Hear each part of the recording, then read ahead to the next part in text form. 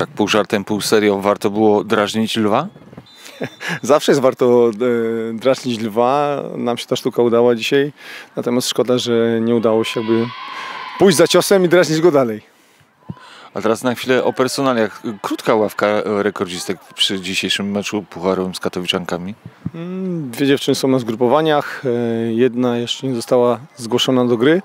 Kilka dziewczyn jest jeszcze chorych. E, Natomiast to nie zmienia faktu, że inne dostają szansę. e, No i tą szansę też trzeba potwierdzać i wykorzystywać. Różnice między rekordzistkami a mistrzyniami kraju bardziej oddaje to dzisiejsze spotkanie pucharowe, czy też jesienny mecz ligowy przegrany przy Bukowej tylko 0 do 1?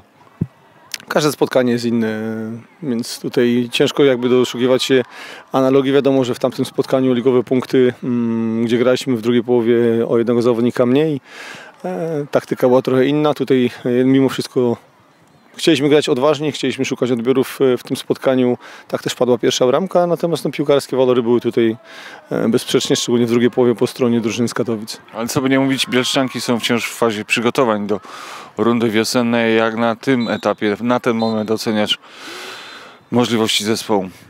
Co najtrudniejsze na pewno dla mnie jako dla trenera jest to, żeby te dziewczyny wszystkie mieć w jednym czasie i móc dalej szlifować to, co chcemy realizować na boisku. Tak. y, Zostało nam jeszcze dwa tygodnie przygotowań i na to ten czas na pewno będziemy poświęcać. Parę zdań o nowych zawodniczkach, które zimą przybyły do biało-zielonych.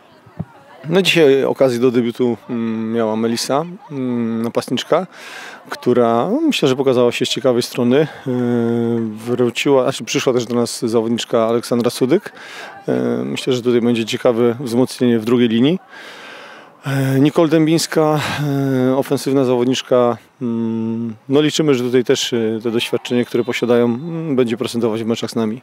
Co jeszcze przed startem i inauguracją w Koninie?